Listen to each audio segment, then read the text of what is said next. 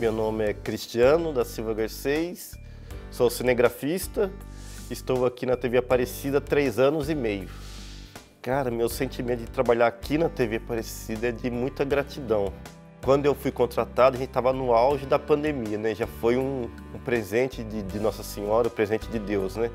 E uma das histórias que marcou foi a primeira novena que eu fiz, é onde acho que o último dia o tempo fechou de uma tal maneira que parecia que ia estragar tudo, que era a festa de encerramento, a festa maior, né?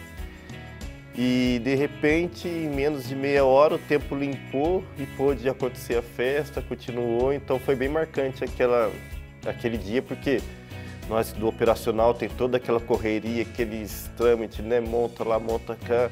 Cessou a chuva, o tempo limpou e a festa continuou e a novena pôde terminar da melhor maneira.